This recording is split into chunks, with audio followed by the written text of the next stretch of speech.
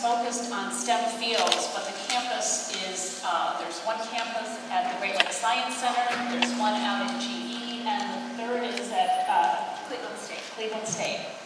And uh, so very interested to have this, these two wonderful perspectives. We've got uh, a panelist who is obviously helping to mentor and um, encourage leadership in STEM fields by women in this very exciting area, and someone at the other end who's working with young girls and really helping to develop their skills and their interest in science.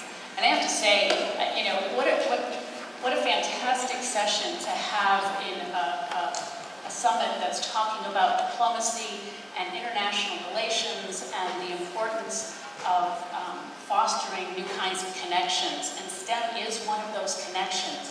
And it's not often brought up that way. So I, I want to thank the organizers because this is just, I think, brilliant to be able to talk a little bit about how STEM can play a role in diplomacy and especially how women have um, an important role to play in encouraging young girls.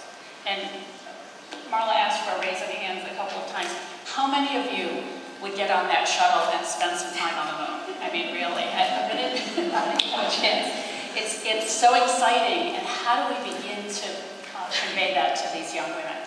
So, uh, Fee, um, as head of the MC Squared School, I'd, I'd love to hear a little bit about what brought you to um, work in such an unusual environment. Sure.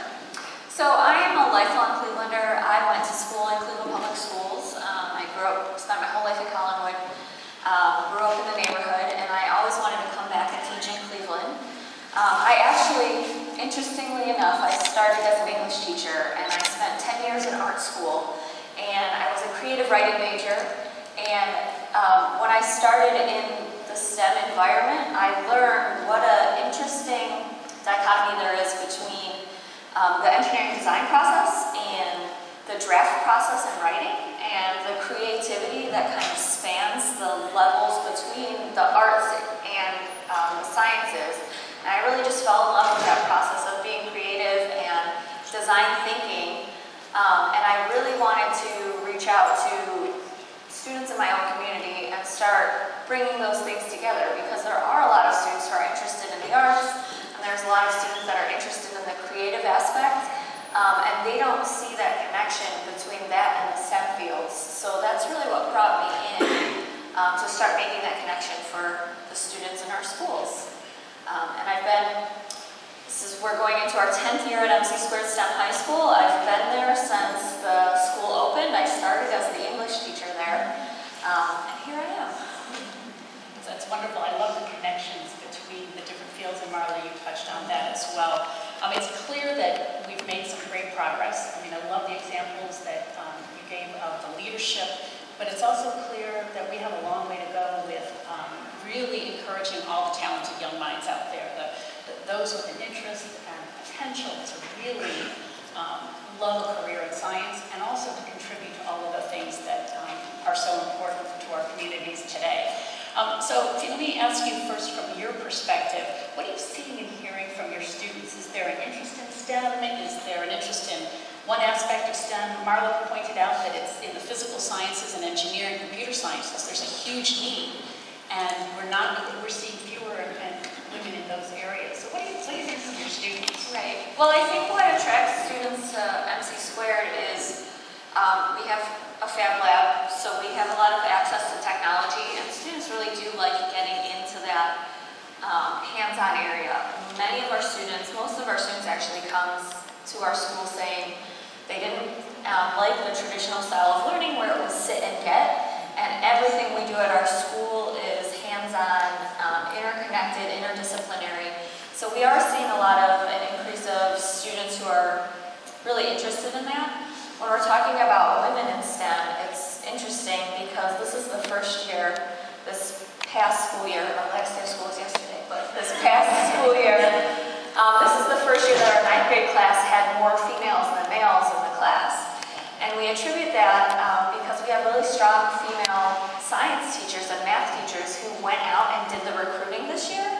Um, so there, there's a very specific example. Campus International opened this year for the first year as a high school. They're another school in our district.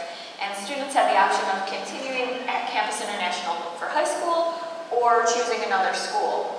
Um, all female students who attended Campus International Middle ended up at MC Squared, and all of the males continued on at Campus International. Um, and when I asked the students, well, what drew you in? They all said, our, the physics teacher, Miss Makita is great, she's amazing. Um, she, when she recruited, she laid on a bed of nails. And um, she let another student smash a brick with a sledgehammer on her stomach. There's not many other women who will do that. Um, and when they saw that, they saw themselves in that, and they saw risk taking, and they saw the fun of STEM. Um, so that attracts them. The flip side of that is um, we talk a lot about science, um, but we don't talk a lot about math. And the language of math is really important and something that we have to think about. Uh, you know, a friend of mine said it's unacceptable for an adult to say, I don't know how to read. Like, if, if an adult said, I don't know how to read, you would do a double take and you would start thinking about that. But it's totally acceptable right now for an adult to say, oh, I can't do math. Um, the girls in our school, everyone in our school has that language and they have that idea that it's okay to say, well, I can't do math. And we really have to, you talked a lot about marketing and seeing STEM kind of in the community and STEM in public pop culture. Um, that's one thing that we, that's our next step. Like, we're, we're attracting people um, to STEM, but we have to help them understand that math is a part of STEM too. And it's not okay to just say, oh, I, I can't do math. Like, we have to shift that language and shift that mindset too to make math a part of our culture as well. Those are some great ideas, and I love the fact that you pointed out that they're attracted to the risk-taking and the fun of science, which, you know, it, it is often not presented in, in the public, uh, you know, on TV shows, science is hard and boring, and